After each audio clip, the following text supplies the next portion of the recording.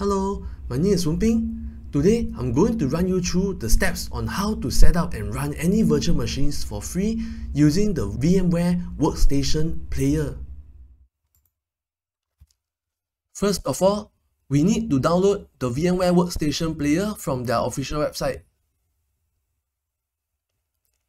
It is free to download for non-commercial users. One thing to take note is that you need to make sure that you download the installer that is meant for your operating system. For my case, I am using Windows 11 operating system in this installation guide.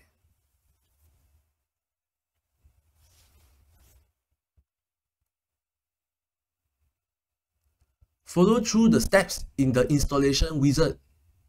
The default options are already sufficient.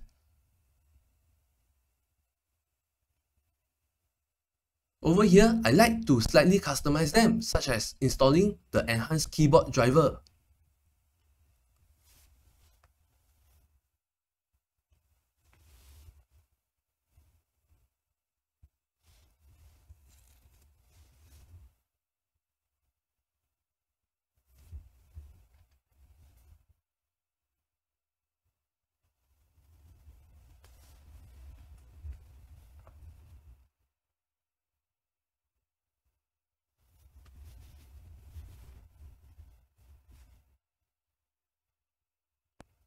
Looks like the installation has been completed. We can restart our machine now. So, after restarting our machine, we can finally launch VMware Workstation Player to try and import a virtual machine. As I have mentioned earlier, it is free to use VMware Workstation Player for non-commercial use. As an example, we will download the Kioptrix Level 1 virtual machine.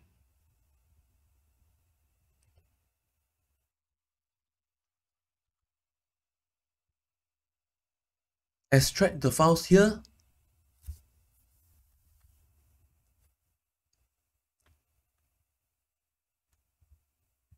This is a VMX file, which is the VMware Virtual Machine Configuration file.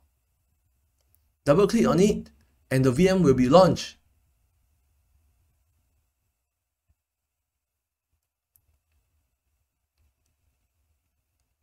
When prompted, make sure that you select I copied it.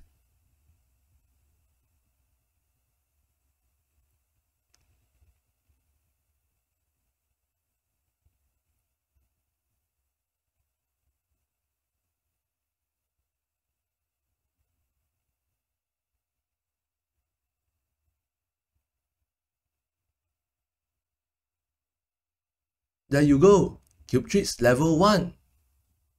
This concludes the steps on how to set up and run any virtual machines using VMware Workstation Player.